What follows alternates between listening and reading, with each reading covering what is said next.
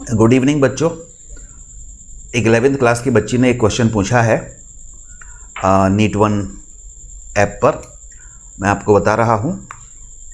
Question ये है a threaded rod with 12 turns per centimetre and diameter 1.18 centimetre is mounted horizontally a bar with threaded hole to match the rod is screwed onto the rod The bar spins at the rate of 216 rpm. Then how long will it take for the bar to move 1.5 centimeter along the rod? अब देखो, पहली बात तो ये देखो threaded rod क्या होता है? तो थ्रेडेड रॉड का मतलब है कि ये ऐसे रॉड है और उस पर ऐसे खांचे बने हुए हैं। एक स्क्रू देखा है ना? एक स्क्रू होता है। नट बोल्ट समझ लो आप तो। नट बोल्ट तो जानते हो ना? तो एक जो नट होता है, उस पर छोटे छोटे खांचे बने होते हैं ना? ऐसे जैसे थ्रेड कर दिए गए हों। उनको बोल्ट के अंदर ऐसे फंसा सकते हैं अपन। अच्छा जैसे खांचे इसमें बने होते हैं रॉड के अंदर वैसे ही बोल्ट के अंदर भी बने होते हैं जैसे बोल्ट उसके ऊपर ऐसे फंस जाता है घूम जाता है राइट तो कुछ ऐसी ही कहानी इसमें बोल रहा है। तो मैं फिर से निकाल लेता हूँ जरा आपका क्वेश्चन क्या था? A threaded rod with twelve turn per centimetre तो इन्होंने ये बोला कि यहाँ पर जैसे मैं आपको स्क्रीन पर दिखाता हूँ कि आ, ये एक रॉड हो गई।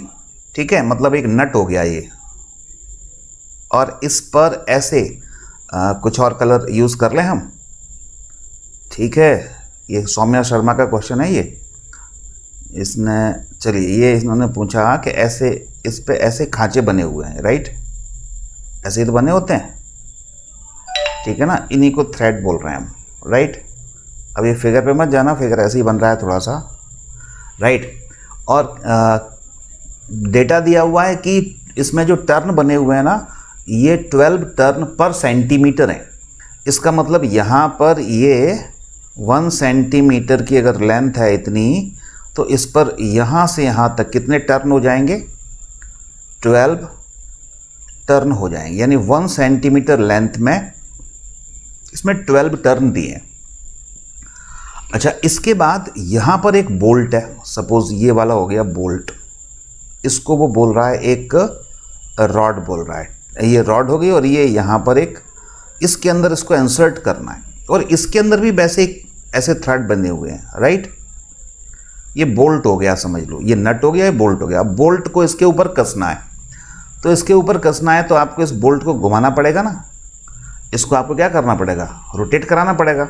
और रोटेट कराना पड़ेगा तो उसकी रोटेशन की जो स्पीड दी है आपने two one six R P M दी है ये जो यहाँ पर ये बोल्ट है, इसकी जो स्पीड आपने दी है, वो two one six R P M दी है राउंड पर मिनट दिए। यानी एक मिनट में ये टू वन सिक्स टर्न घूम सकता है, ये वाला बोल्ट, ठीक है?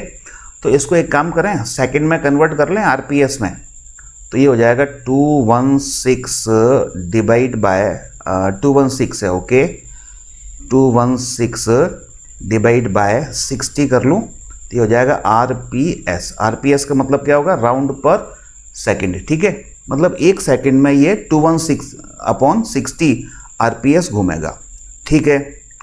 चलो, इसके बाद क्या बोला? अच्छा इसका डायमीटर भी दिया है। हालाँकि इस डायमीटर से कोई मतलब नहीं है। ये रॉड का डायमीटर दिया हुआ है क्वेश्चन में। कितना दिया है? 1.18 सेंटीमीटर ये आपके, आपने डायमीटर दिया हुआ है, ठीक है? अब एक मिनट, ये कहाँ चला गया है? बैक में जाऊँ मैं? हाँ ये आ गया, ठीक है। अब इसमें क्या बोला गया कि ये जो रॉड थी ना, ये वाली रॉड ये हॉरिजॉन्टली माउंटेड है, ठीक है? और ये जो बार है, बार जिसमें थ्रेडेड होल अंदर बने हुए हैं, वो इसके ऊपर इसके ऊपर ले जाना है, इसके ऊपर ऐसे ले जाना है, इसके ऊपर घुमाते हुए ले जाना है, ठीक है? तो जब घुमाते हुए ले जाएँगे तो ये इसके अंदर आ गया है 1.5 सेंटीमीटर। कितना आ गया है? 1.5 सेंटीमीटर, ठीक है? 1.5 सेंटीमीटर ये आ जाता है। अब 1.5 सेंटीमीटर आ जाए, अगर इसके अंदर, ये जो बोल्ट है नट के अंदर, ऐसे सोचो, ये बोल्ट है, वो नट के ऊपर, इस नट के ऊपर 1.5 सेंटीमीटर की डिस्टेंस, हॉरिजॉन्टल डिस्टेंस कवर कर ले तो कितना टाइम लगेगा, ये पूछा है, ठीक है?